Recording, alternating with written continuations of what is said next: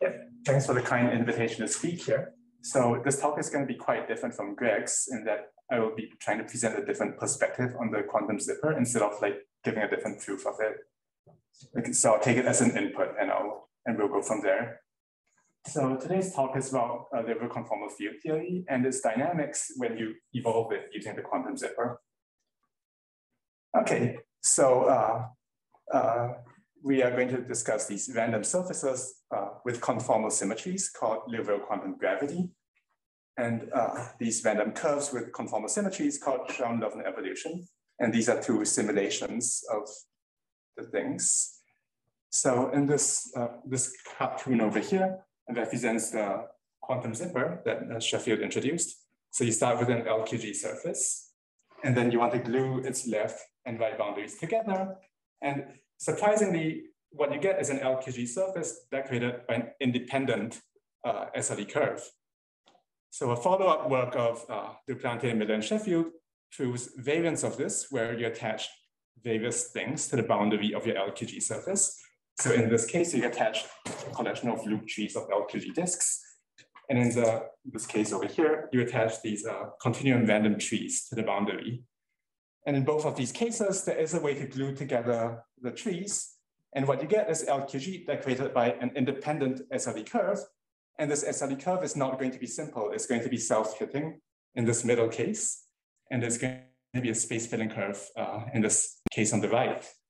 And so I'm going to explain how these dynamics um, are applicable to random surfaces that come from uh, Liouville conformal field theory. And then I'll give a couple applications of this. Okay, so to define LQG, uh, we need to first understand the Gaussian free field. Um, I'll just show a few pictures. So this is a random generalized function on the plane. So more precisely, it's, a, it's an element of, the, of a negative Sobolev space. So, okay, on the left, uh, you have this heat chart. So at places where the field is very red, it's taking very large positive values. And here, where it is green, it is taking very large negative values. On the right-hand side, we plot this uh, graph of the GFF. Uh, it does not admit pointwise values. So to make sense of this graph, you have to um, modify, you have to integrate against some kind of smooth bump function. And, uh, and from both figures, you can see that it's a very fractal kind of geometry that arises. So, okay, now I want to understand the LQG geometry associated to the Gaussian free field. So you have this uh, LQG parameter gamma, which will be between zero and two, and let H be a Gaussian free field on the unit disk. So we want to make sense of this geometry that arises from the Riemannian metric tensor e to the gamma h times the Euclidean metric tensor. And this doesn't make rigorous sense because h does not admit pointwise values. But regardless, we can still define um, an area measure, AH, and a boundary length measure, LH, and uh, the way to do this is to replace h with a smooth version of h, and then renormalize and take a limit. And that gives you these measures on the unit disk and the unit circle. And this procedure is called Gaussian multiplicative chaos. Uh, more recently, the LQG metric DH was also constructed, and this is a much more uh, uh, challenging undertaking because it's a very non-local function of the Gaussian free field. And so given a Gaussian free field H, you can understand this LQG geometry as being this metric measure space, AH, LH, DH, equipped with a conformal structure as well. Okay, so uh, the last thing I want to mention here is this coordinate change. So if you have um, a domain D and a field H on D, and you have a different domain field pair, D tilde, H tilde, suppose that F is a conformal map between the two domains such that you have this uh, coordinate change formula over here. Then it turns out that the uh, geometry associated to H and H tilde is the same. So more precisely, AH, LH, and DH gives the same metric measure space as AH tilde, LH tilde, and DH tilde. And so we want to interpret this as being one LQG surface, uh, which is embedded in two different ways. Okay, so that's uh, and here's a simulation. So this in this figure on the right, each of these squares has roughly the same LQG area. So here, where your um, GFF is very large, you get a very dense geometry here corresponding to a large LQG area. Here, GF is very negative, and you have a very small LQG area.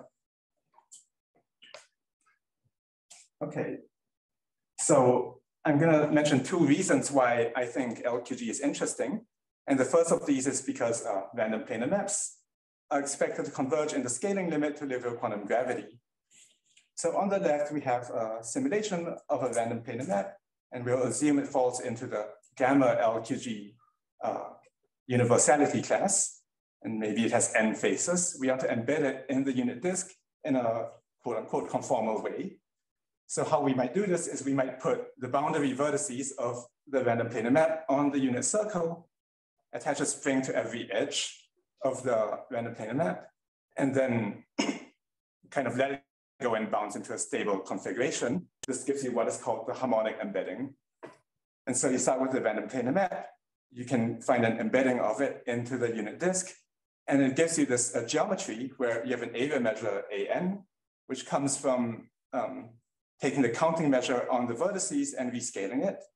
You likewise have this boundary measure Ln, and you have a distance function, dn, which is the graph distance uh, rescaled by some power of n. You can also create a random geometry starting with a Gaussian free field or a variant of the Gaussian free field and taking this Liouville quantum gravity geometry associated to it. Now, the widely held belief is that these uh, the discrete measures A, H, H, N, A, N, L, N, and D, N converge in the limit to A, H, L, H, and D, H. And this was proved uh, for, the for some very special cases. Uh, Greenmiller and Sheffield proved that this is true for the um, mated CRT random planar maps uh, um, under the harmonic embedding. And Holden and Sun proved that uniform random planar maps under the so-called Cardy embedding uh, converge to LQG in the scaling limit. It's an important open question to, to prove more of these convergence results for different kinds of random planar maps with uh, different statistical physics models attached to them.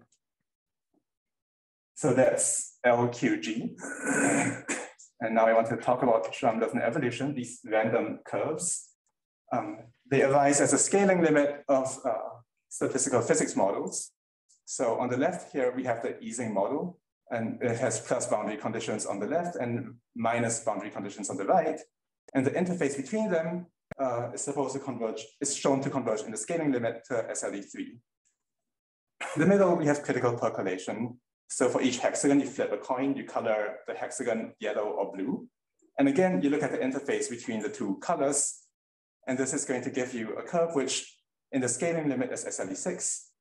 And the last case is uh, the uniform spanning tree, where the, the curve that traces the boundary of the tree is going to converge to SLE8. So SLE has three different phases. When kappa is less than or equal to four, you get a simple curve. When kappa is between four and eight, strictly, uh, you get a, a curve which is intersecting itself but not crossing itself. And when kappa is at least eight, you get a space filling curve. Okay, so here are some simulations of SLE. SLE3, which is simple. SLE6 is self-hitting. SLE32 is space filling. And SLE comes in two variants. You have the forward and SLE variants. And today I'm mostly going to talk about reverse SLE. And so this is a random growth process where you start uh, on the left here with um, the plane and a marked point. And at, this is the time zero configuration. And at time t, um, you have a random curve, which is kind of obtained by pushing the plane towards this red point and upwards. And so this red point here corresponds to this red point here. So this uh, blue conform, uh, this blue region here can be conformally mapped to this blue region here by this map GT. And GT is basically doing what these arrows are showing you. So the definition of uh, SLE is in terms of this stochastic differential equation, which we won't need for now. Okay, so now that I've mentioned what LQG and SLE are, I want to give a statement for uh, Sheffield's quantum zipper in the case when kappa is and most, kappa is less than four, and gamma is uh, cap, square root of kappa. So uh, for me, the cleanest version of the statement involves distributions modulo additive constant. So this is an equivalence class of distributions where two distributions F1 and F2 um, are in the same equivalence class if they differ by a constant. And now um, I want to look at this uh, distribution modulo additive constant, H naught, obtained by starting with the GFF and adding this log singularity of size 2 over square root kappa at the origin. Now I want to glue the left and right boundaries together according to the LQG length measure associated H naught. And this doesn't make, uh, this does not make sense vigorously because H naught is only defined modulo additive constant. So the uh, length measure is only defined modulo multiplicative constant. But this doesn't matter because the ratio of LQG lengths does not depend on this constant. So we can still tell which point here is supposed to be zipped to which point here. And so you can carry out this uh, zipping procedure, and this gives you a random geometry, which is a random surface decorated by a random curve. We will embed this random geometry in the upper half plane. Uh, we want to parameterize time based on the size of this curve. So uh, we are going to use a half plane capacity to measure size. So this notion of size does not depend on the, the field. It only depends on the curve. So for the random surface that you get, we can describe it using this field ht, and the random curve is going to be eta t. So the statement of uh, Scott's quantum zipper can be given as follows. So suppose that tau is a stopping time that only depends on the curve then uh, surprisingly, the field and the curve that you get are independent of each other. Uh, the law of the curve is going to be reverse SLE run until the stopping time. And the law of the field is the same as the original uh, law of the, the law of the original field H naught. It's just this GFF plus this log singularity. So this gives us uh, a stationary picture where as we zip the field to itself, the law the marginal law of the field is not changing and is also independent of the curve that you get. Okay, so here I emphasize that H, uh, HT is a distribution modulo additive constant. So we haven't yet chosen a way to tie down this additive constant. Okay, uh, I just want to quickly mention uh, the, that there is a critical version of this. The previous slide talked about kappa less than four and gamma less than two. For critical LQG, uh, you get kappa is equal to four and gamma is equal to two. And uh, this, the same result is true in the setting, and this is due to uh, works of Holden and Powell, who showed that um, you can do some kind of uh, uh, procedure that glues LQG to itself, and and then Kavvadias, Miller, and Schoug show that this gluing procedure is unique. So uh, it's conformal welding.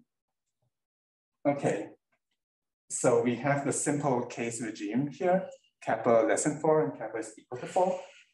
And so I want to discuss the kappa between four and eight case now. So this is kind of a lot more complicated, but it's not, well, at least at the high level, it's not too hard to explain. So we have uh, the same uh, random distribution modulo additive constant H naught. And then what we're going to do is we're going to attach a Poissonian collection of, of trees of LQG disks to the boundary.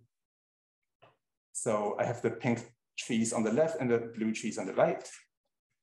And it turns out that there's a natural notion of boundary length on the boundaries of these uh, forests. And you can make left and right boundaries together according to this natural length notion of length. And this gives us a new um, random geometry decorated by a self-intersecting curve. And again, we're going to parameterize time by the Euclidean size of the curve, and ht is a field and eta t is a curve. Then uh, what Duplantier, Miller, and Sheffield proved is that um, if you run this process until a stopping time that only depends on the curve, then the field and curve are independent. The law of the curve is just reverse SLE, run until the stopping time, and the field is uh, the same as the original field in law. Okay, so this gives us two different uh, quantum zipper stories, one for the simple curve, kappa less than or equal to four, and one for the self-intersecting SLE, kappa between four and eight. So for this talk, I want to explain some extensions of these quantum zippers. the first extension is to the setting where kappa is at least eight. So you get the space filling curve as an interface. And the second extension, instead of looking at the Gaussian free field modulo additive constant, I want to just instead look at these random surfaces that arise from Liouville conformal field theory. So uh, this perspective has multiple applications. Firstly, we're going to prove a BPZ differential equations for LCFT on surface on, on the unit disk. And we'll also prove that whole plane SLE is reversible for kappa is at least eight. Okay, so to explain the kappa at least eight quantum zipper, I need to first discuss uh, the mating of trees uh, of the Duplantier Miller Sheffield. So we're going to start with a pair of correlated Brownian motions, xt and yt, and how I want to construct a continuum random tree from each of these uh, processes. So how do we do that? On the left, we have this curve xt, and I plot this graph. I draw these horizontal line segments that stay underneath the graph, and I identify points that lie on the same horizontal line segment. So you can imagine taking uh, um, some glue and just painting it on the underside of this curve, then kind of horizontally flattening everything. And that will give you a random tree shown here. So for YT, you can also construct a random tree in the same way. And uh, the result of the Duplantier Miller Sheffield shows that there is a way to mate these two trees together to get a random surface. And this random surface will be the real quantum gravity, and the interface between the curves will be Schramm-Loewner evolution. And the coupling of the parameters is given by kappa is 16 over gamma squared. So, okay, here's a different description of the same thing. You start with a certain uh, canonical LQG surface, and on top of it, you draw a space filling SLE independently. And suppose you run this process until the time that um, the A where you've covered is equal to T. Then we define these four lengths, xt minus, xt plus, yt minus, and yt plus. And then you can define the processes xt and yt by xt is xt plus minus xt minus, and yt is yt plus minus yt minus. And that gives you um, a process xtyt. So starting with this LQG decorated by curve, you can get a process xtyt, which corresponds to this pair of trees. So uh, this is really important. And one reason why is because this is the only known way to relate random planar maps to Liouville quantum gravity. So in the discrete, uh, for random planar maps decorated by, say, a, a spanning tree, you can find a bijection for for such a planar map between a pair of trees and uh, the planar map. And you can take a scaling limit to get those trees to become these uh, continuum random trees here. okay, good. So given uh, the mating of trees, I can state the, um, the quantum zipper result for kappa at least eight. So here we're gonna take kappa at least eight and gamma is four over square root of kappa we use the same GFF again, modulo additive constant. And we're going to glue a pair of correlated random trees to the correlated continuum random trees to the boundary, shown here and here. And as before, we're going to uh, zip these two trees together, and they'll give us a random surface decorated by a random space filling curve. And we'll let HT be the field and eta t the curve and you get precisely the same um, statement as before, the, up to the stopping time depending only on the curve, the field and curve are independent. The, the curve is SLE and the field is this same GFF as before. So this is the first result I wanted to mention. Okay, so for the second result, um, to motivate it, I want to explain uh, Liouville conformal field theory. So the second reason why I think LQG is interesting is because it is used in the construction of Liouville conformal field theory. So LCFT is a funda fundamental example of continuous conformal field theory. It has a continuous spectrum and it's not as amenable to uh, other methods as like other CFTs are. Um, LQG can be used to give a probabilistic construction of LCFT. So how does that work? We want to define this uh, field so we have this parameter gamma between zero and two, and we have this uh, q, which is gamma over two plus two over gamma. And we're going to write P sub D for the law of the Gaussian free field on the unit disk, uh, normalized to have average equal to zero on the unit circle. So we're fixing its additive constant by assuming its average on the circle is zero. So now we can define the Liouville field on the unit disk. Uh, if you, you, sample a pair H comma C, where H is going to be this GFF and C is going to be sampled from this infinite measure on the veil line. And then we let phi be H plus C, and the Liouville field is going to be phi. And we write LF uh, sub D for the law of the Liouville field. So this is an abuse of uh, probabilistic language to be precise, um, we can define a, the measure LF sub D as a push forward of this uh, product measure under the, the function that sends h comma c to h plus c. So this is the Liouville field. And we also want to add insertions to the Liouville field. So how does that work? If we want to add an insertion at a point of size alpha, we're going to start with the original field and we're going to wait for e to the alpha phi of z. And again, this doesn't make rigorous sense because uh, you cannot define phi of z pointwise, but you can still make sense of this measure using a regularization and renormalization procedure. And uh, what you get is this random field, which looks like the GFF with an alpha log singularity at the point z. So now we can define the correlation functions of Liouville conformal field theory in terms of these uh, fields with insertions. So for example, here, if I want to define the correlation function corresponding to one bulk insertion at the origin, I will sample a Liouville field with an alpha insertion at the origin. And I'll take this Laplace transform of the LQG area and the LQG boundary length of the, of the disk. And so this gives us uh, a definition for the one-point correlation function. This uh, quantity encodes the law of the area and the boundary length of the uh, Liouville field.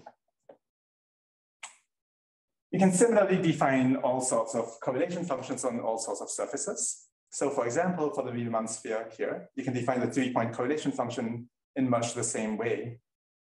And uh, to physicists, the primary interest is to solve for all the correlation functions of a conformal field theory. And this would be called solving LCFT. And there has been tremendous work in this direction. So uh, there's a breakthrough by Kupiainen, Rhodes, and Vargas where they computed the three-point correlation function for LCFT, and they showed that it equals the DOZZ formula put forth by Dorn Otto and Zamolodchikov Zamolodchikov the argument depends on the BPZ equation for um, correlation functions of uh, conformal field theories. And so they subsequently, together with Guillarmou, they computed all the correlation functions for surfaces without boundary. And this is via a procedure called the conformal bootstrap. So you start with the most fundamental uh, conformal uh, correlation functions, and then uh, combine them to iteratively uh, uh, solve for higher order correlation functions. And so uh, these two works together completely solve LCFT for the case of surfaces without boundary. Okay, um, so, so earlier I mentioned that one reason to care about LQG is because it comes as the scaling limit of random planar maps. And then from that perspective, uh, the mating of trees uh, and quantum zipper type statements were uh, uh, proved. And now I want to show that from this other side of the world about the conformal field theory, uh, these quantum zipper type results are also applicable. So the key insight here uh, is just the following. If you have um, um, a distribution modulo additive constant,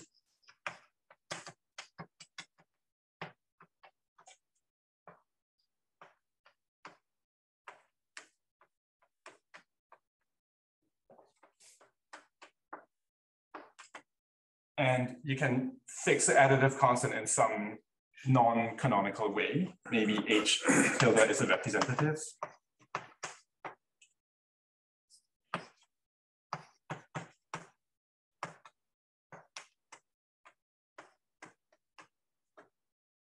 Then um, if you sample a Lebesgue, um, a real number from Lebesgue measure on the real line, then um, this random distribution you get, given by h hat plus c, this does not depend on the choice of h hat.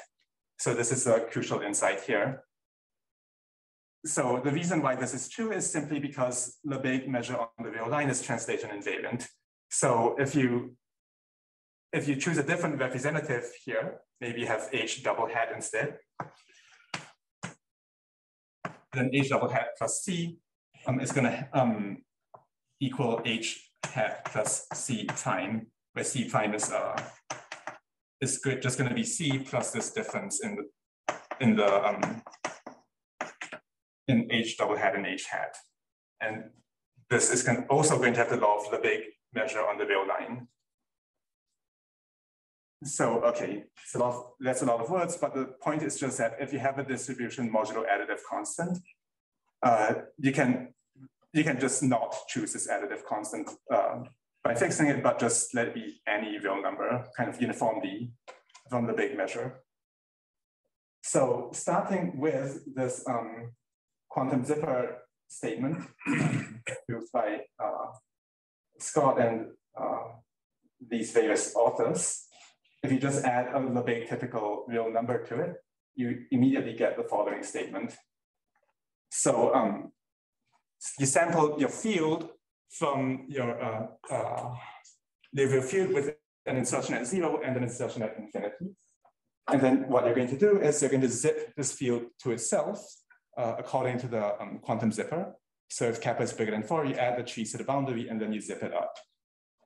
Now, um, if tau is a stopping time that depends only on the curve, then the law of the field and curve is given by this explicit product measure here, where your curve is going to be this um, reverse SLE run until the stopping time tau, and your field is going to be this uh, field.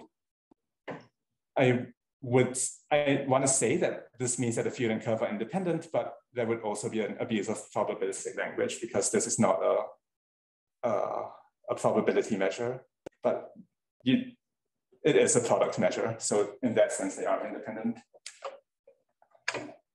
Okay, so the quantum zipper is applicable to the Liouville field with two insertions, one at zero and one at infinity, but you can just directly generalize this to all cases. So you can add arbitrary bulk insertions, and you can add arbitrary boundary insertions, and you can add a different insertion at infinity you get the same result, except that now the curve and the field are not going to be independent. What is instead going to happen is the following. You have a curve, which is reverse SLE, uh, run until the stopping time. And then when you've done this uh, reverse SLE, it's going to send these points zj to these points g tau zj. So this is just when you do this uh, evolution, these points are moving around and zj moves here, xk moves here you're just going to put the insertions at these new locations. And you're also going to have this um, term, which is coming from the, the, product of derivatives of your uh, conformal map. So the proof of this is not very difficult given the previous slide. essentially You're going to just obtain this more complicated statement from the simple statement by some kind of reweighting of the field this reweighting will add insertions to the field, and it also gives you this weighting by the derivative of the conformal map. Okay. So Liouville conformal field theory uh, gives you these uh, surfaces which behave nicely under the quantum zipper in the sense that the law of the curve and the law of the field after zipping are tractable. And so I want to use this uh, quantum zipper now to give an a result in LCFT. So we're going to fix a special choice of beta star, which is either minus gamma over 2 or minus 2 over gamma. Either choice is fine. And I want to define this correlation function here, where you have a bunch of insertions at the boundary points x1 through xn of sizes uh, beta 1 through beta n. They're going to have an insertion at the point w of size beta star, And you can also have an insertion at infinity. so the correlation function uh, is going to encode the law of the area and boundary lengths of uh, the Liouville field. So on the right-hand side here, we have this exponential of minus area and minus boundary lengths. And here, crucially, I want to emphasize that these two uh, coefficients for the boundary lengths, mu L and mu R, are related in this uh, kind of uh, difficult way, which will become clearer later on. So when you've set up um, the correlation function in this way with a special coupling of your cosmological constants, then you can obtain the boundary BPZ equation, which is shown here, is an order two differential equation with two derivatives in W. And this uh, equation was conjectured by Fateev, Zamolodchikov, and Zamolodchikov. And they conjectured that you need to have this weird relationship between mu L and mu R uh, for this to hold. And they get this relationship by looking at special cases. So special uh, cases of the correlation function when they can directtly check when this is true. So um, I'm going to give a proof of uh, this BPZ equation using the quantum zipper. And from this uh, proof, it will become clear why we have this coupling of sigma L and sigma R here. So we have two BPZ equations, one for gamma over two and one for two over gamma. And uh, each your proof, your proof will hold for all kappa then? Yes, that's right. For all for all choices of gamma, uh, you can get these two choices of B. And yeah. Okay, so the first case is your beta star is two over gamma. And then we're going to use the quantum zipper where kappa is less than or equal to four. So how do we do this? Um, so in this special case, this relationship sigma L and sigma R differ by beta star over two. It becomes very simple. It just becomes mu L plus mu R is equal to zero. So to set things up, we, we have this reverse SLE. We start your point at W naught is W, and then it's going to evolve over time, and this uh, point is going to move around. So the claim is that if you define this MT here, which is just a correlation function, together with uh, this conformal derivative terms, then MT is a martingale for this SLE process. And so how do we see this? Um, so let f phi be the function of the field obtained by just e to the minus a phi minus mu l phi, uh, minus mu l l minus mu r r. And because mu l plus mu r is equal to zero, you get this, uh, you can write it in this way instead. So here you have the difference of the boundary lengths instead of um, this. So because of how we define this zipping up procedure, after I've zipped up for some amount of time, the left boundary length is shrinking by the same amount that the right boundary length is shrinking by. Uh, so f at f of phi naught is the same as f of phi t for any choice of t. And this observation, together with the quantum zipper, kind of immediately tells you that mt is going to be a martingale because f of naught and f of phi t are the same quantity. So with this martingale in hand, is then pretty straightforward to obtain the BPZ equation. Uh, because uh, MT is a martingale, you just do your Ito calculus uh, computation. You write this down, you look for its DT term and DBT term.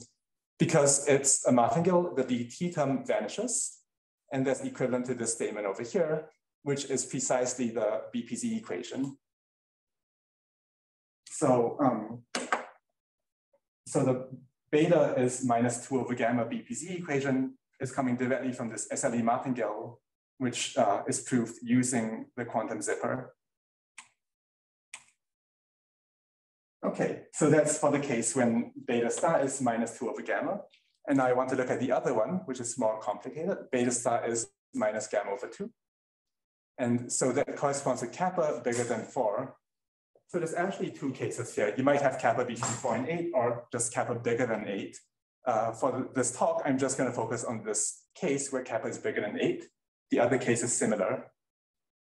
So as before, we want to define this process MT, which is a correlation function uh, times this uh, conformal derivative uh, product.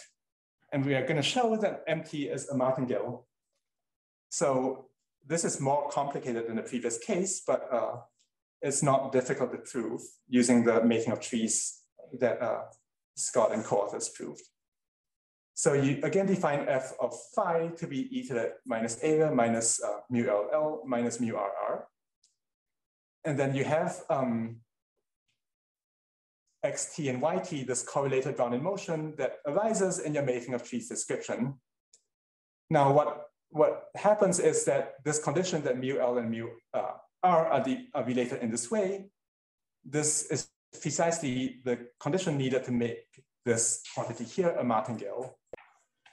So this is not obvious at all from like what I've said so far, but it's really easy to compute these uh, Brownian motion uh, exponentials, know, calculus stuff is, is very straightforward to check that this is a martingale, assuming this. And now phi naught and phi t are not the same quantity in general, but the expected value of phi t given phi naught is just phi naught because this is a martingale. So your changes in your boundary lengths and your changes in your eta are kind of, uh, on average, they're canceling out. And as an immediate consequence of this, you, you obtain that MT is a martingale. So here, instead of f of phi naught being the same as f of phi t, you have this conditional expectation where f of phi t conditioned on phi naught is just f of phi naught. And so you can still write down the same equation and conclude that MT is a martingale. And as a, as a result, um, the same computation from the previous slide applies. And you immediately get the beta stars minus gamma over two um, BPZ equation. Okay. So for the LCFT quantum zipper, we have an application where we prove the boundary BPZ equation for LCFT. So uh, let's put this in, in some, let, let me give some context for why this is interesting. So as I mentioned earlier, LCFT on closed surfaces is completely solved. And the way that the authors did that was they obtained the most basic correlation function, which is a three-point correlation function on the sphere. And they proved that a conformal bootstrap is applicable. And so they can inductively obtain all correlation functions. So we want to carry out a similar program in the setting of uh, LCFT on surfaces with boundary. And so here, the most simple correlation functions are not, you have more than one, not just a three-point uh, bulk sphere correlation function, you have a few different ones. And uh, in joint work with Guillaume Remy, Xin Sun, and Tunan Zhu, we proved, uh, uh, sorry, I, I, missed something on this slide. Before that, uh, in joint work with Guillaume Remy and Sun, we obtained one of the structure constants, which is a one bulk point structure constant for the disk. And in, future work, uh, together with Tunan Zhu, we're going to obtain the some of the other structure constants like the three point boundary, uh, three boundary points for the disk uh, structure constant. And there, the boundary BPZ equation is a key input in obtaining these uh, structure constants. So that's uh, this co component of the, the program. This other part, which is a boundary conformal bootstrap, um, this has been initiated by Wu and co-authors uh, using similar methods as was done here. And hopefully uh, all of these things together will allow us to solve LCFT on surfaces with boundary. Okay. So there's a second application I want to mention, which is for SLE. So the quantum zipper um, result does not only give uh, applications for LCFT, but also for SLE. So um, given a curve eta in the upper half plane, you can define a curve eta r obtained by reversing time and inverting. So here you have a curve eta, and under the conformal, anti-conformal map, z maps to one over bar z. You get a different curve here, which is eta r. And a curve, a random curve is reversible if these two curves agree in law. If eta agrees in law with eta r, then eta is reversible. So for the case of chordal SLE, um, chordal SLE is reversible when kappa is less than or equal to eight. But however, when kappa is bigger than eight, uh, this is not reversible. So here is a figure of um, SLE with kappa is equal to 128. So SLE curve is starting here and is ending up here. And uh, it fills out these red parts before it fills out the blue parts. It's a space filling curve. So this is maybe the only way of uh, visualizing it with a picture. And you can see that it's very much not uh, reversible. Near this endpoint, you get these uh, uh, circle looking things, but not here. So chordal SLE is not always reversible. Now, whole plane SLE is a variant of SLE uh, in the complex plane where your curve starts at infinity and ends at zero. So um, it's going to look like this. For kappa less than or equal to four, it's just going to be a random curve that comes in from infinity and goes to the origin. For kappa between four and eight, you get the same thing, but with a topology where it's allowed to hit itself.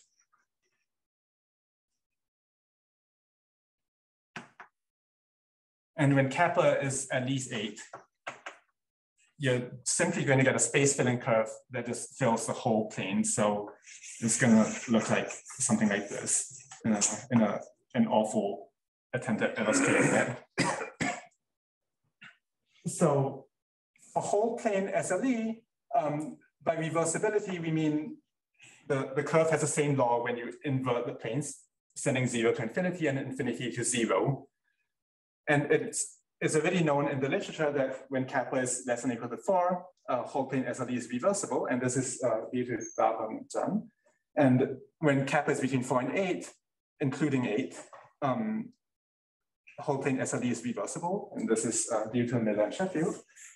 And together with Pu Yu, uh, we will prove that whole plane SLE is reversible when kappa is at least eight. So in this space filling regime, uh, this random curve is still uh, reversible. So maybe I can just quickly say a couple of proof ideas. Uh, the main tool is to use the LCFT zipper to obtain a mating of trees type theorem for um,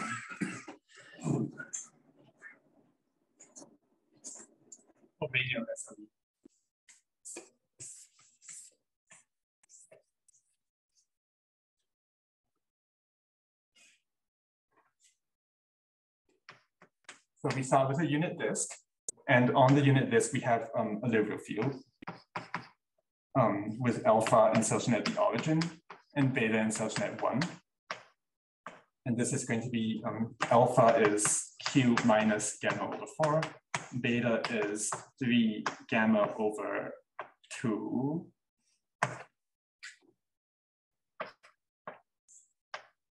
And let's say we condition on the field having boundary length equal to um, one. So condition on L0 is equal to one. So this whole boundary length is L0. Now we start um, here and we're going to run space filling radial SLE. So that's a random curve in the disk from one to zero which fills up the whole disk. So let's say I've run it for some amount of time. Uh, then I'm going to define this new length here to be L of t, where t is the total area covered so far.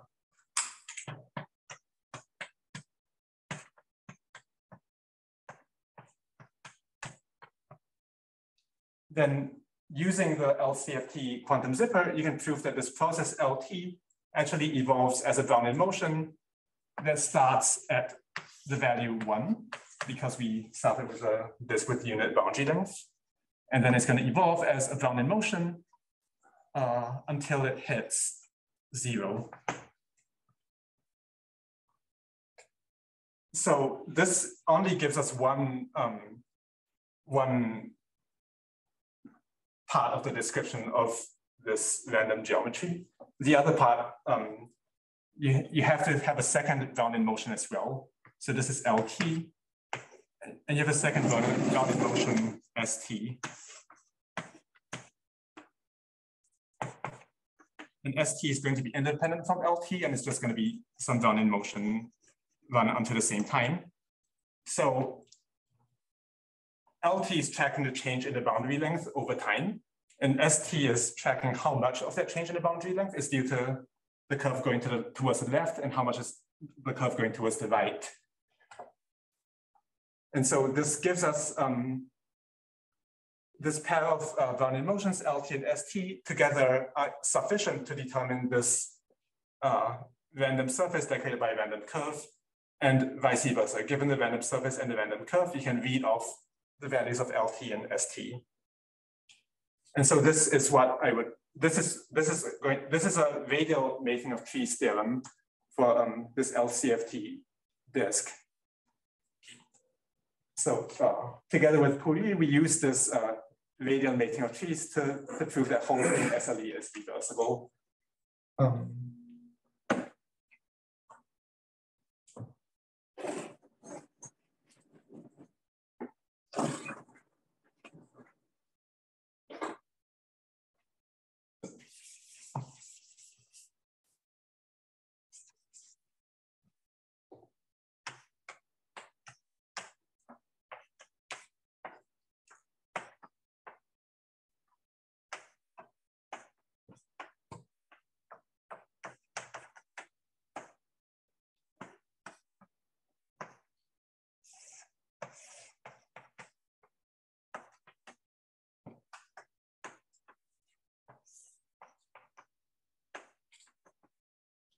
So taking a limit of this picture where you send the boundary length to zero, uh, the conclusion is that if you take an LQG sphere and you decorate it by a whole plane SLE, then that's uh, in bijection with a pair of uh, random processes, LT and ST, where LT is going to be a Brownian excursion. So we send the boundary length instead of one, it's going to be zero. So you start here and you just have a, an excursion and ST is an independent Brownian motion. Now, in this picture, uh, we want to that whole plane SLE is reversible. We know that the LQG sphere is symmetric. When you flip the two marked points, you get the same object. And this uh, description here is also symmetric on the time reversal. Like so Brownian. Again, what was ST? Yeah, ST is going to be, so LT would be XT plus YT this is a total boundary length. ST is going to be XT minus YT. So if this, if XT and YT are your usual mating of tree uh, Brownian motions, then LT is just a sum and ST is a difference. Okay. Yeah. You're saying the sum and the difference are independent? Yeah. Okay. Yeah, I can write down a proof of this pretty quickly if you want. So, so in the radial case, what is x zero and y zero? Yeah. Um, in the radial case, you can take x0 and y0 to both be equal to zero, and then I would just add a one here so that you can run until, yeah. yeah.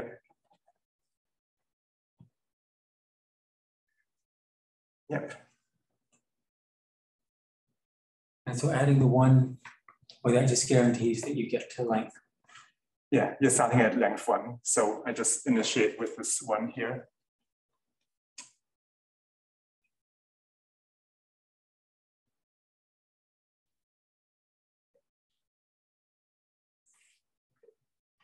So we want to show that this curve is reversible, but we know that this object is reversible and this whole description is reversible. And it turns out that those two together is enough to prove reversibility of whole plane SLE yeah, I think that's the end of my talk. Thanks for your attention.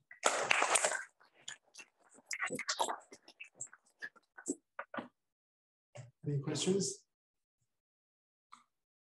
let's see. So I'm just trying to understand the geometry of what's going on with this a little bit better. Yeah. So, so what are the, in this whole plane construction, what do the trees look like that are being glued? Yeah, um, you should think of it as locally just being something like this, um, like this picture here. Uh-huh. but this is a local picture. So, um, okay, so before that, um, there are no trees being glued in this picture. So LCFT quantum zipper is about reverse SLE, and then you have gluing, but here I'm looking at forward SLE. So you're taking, um, let's redraw it. Um,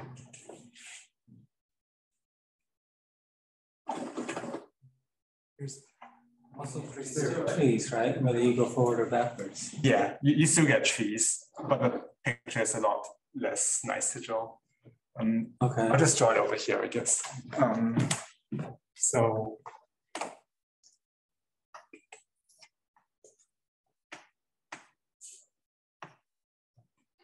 Not down here, psychological reasons.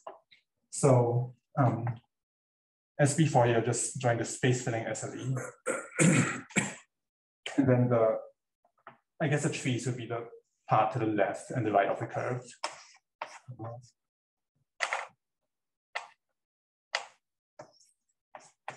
It's just that you don't get such a nice picture because after some time, like when you wrap around, like these trees kind of become mixed up with each other. uh-huh, Yeah, so I, I guess I don't want to think of each process xt and yt as each corresponding to a tree, but rather xt and yt keep track of the, the changes in the left and right boundary lengths like locally. So in a small amount of time, xt is tracking, in a small amount of time, you won't have reached this point. So you can define left and right boundary lengths. Uh-huh. And xt and yt are keeping track of those things. Okay, but I mean, on a discrete level, if I give you an a roughly space filling path. Yeah. And the complement of the path is a tree-like object, Right, so it's, yeah. it's, but you're saying that thinking of it as a tree-like object doesn't really help you. It's not an intuitive description of what that object is. Um, it is possible there is one. I guess I haven't thought about this yet. And maybe we can talk more about this. Yeah. Any other questions? Okay, if- there's no question, uh, President Morrison.